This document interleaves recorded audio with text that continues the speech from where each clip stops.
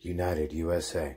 Now, the red flag, we seem to be seeing people's rights being violated on a regular basis. Here is another example. He had a gun pulled. He walked up to my window, didn't identify himself. I had no clue who he was. Uh, he told me that if I didn't roll down my window, he was going to put a bullet in my fucking skull. It was in his mind to kill me.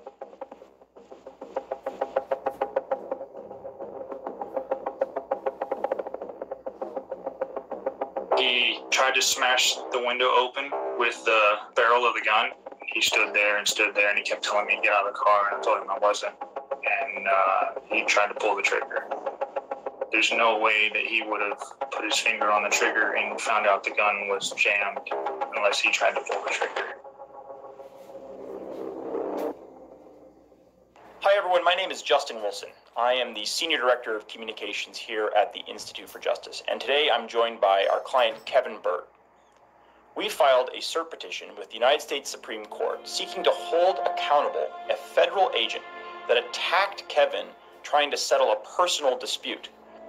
My ex girlfriend, the mother of my child, was about in an accident. Um, I got a phone call and was telling me that she was involved in a serious accident and she might die.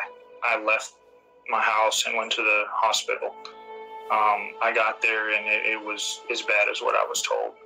Kevin's story begins when his ex girlfriend, who is the mother of his child, was involved in a traumatic car crash. Kevin went to the hospital to see how she was doing, and after hearing her story, went to the restaurant where she was drinking with her boyfriend the previous night. When Kevin arrived at the restaurant, the staff told him that he could wait for the manager to arrive if he wanted to see the security camera footage. And while he was sitting in the parking lot waiting for the manager to show up, Agent Lamb approached him. The look in his face and the determination, it, it, it scared me. I thought I was going to lose my life. When the police arrive, uh, as soon as they're busy, he reaches down and picks up the shells that were ejected. Uh, one from whenever he tried to smash the window out, and the second from whenever he racked the shell before he tried to shoot me. Kevin was afraid for his life. This random stranger had just tried to shoot him, and so he called the police. But when the police arrived, they walked past Agent Lamb and arrested Kevin. They walked right past him. They didn't pull out any guns. They didn't do anything. They came immediately to the vehicle and told me to get out and put me in handcuffs. Uh, he did tell me that he was a Homeland Security agent. I, once the hat and stuff was off, I did recognize him from the hospital. I had seen him briefly for a, a millisecond in the lobby, but at that point in time, I didn't know who he was. And I certainly didn't know he was a Homeland Security agent.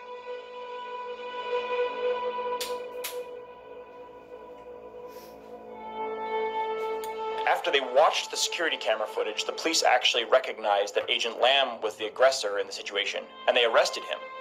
But he was eventually let off, and that's what led Kevin to file his lawsuit. I had been put in contact with an attorney, um, and he told me that this case had a lot of credibility, especially after he's seen the video. And so he wanted to pursue them, and so we did.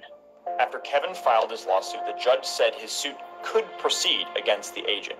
But then a higher court found that because the agent was a federal officer and not a local police officer, he was immune from any kind of lawsuit, including What? one seeking to hold him accountable for what he'd done. What? He was immune to any kind of punishment. Oh my god. With this case, the Institute for Justice is seeking to settle once and for all how federal agents can be held accountable in the courts. I'm hoping that they change the law because Yes, officers of the law should be held to a higher standard. that's right. What's at stake in this case is whether federal officers get to operate in what one judge described as a constitution free zone. If the Supreme Court turns down Kevin's case, it would mean little to no accountability for over 100,000 federal police officers when they violate people's constitutional rights. But a federal badge is not a shield against the Constitution. Yes, indeed, absolutely. The Constitution is the only thing that protects us against anarchy, and without it, we would be in big trouble. People that are in service and law enforcement should be held to a higher standard. I know we grew up watching 007 movies, License to Kill, but this is a little bit ridiculous. Great responsibility comes great accountability. If you agree, please like and share.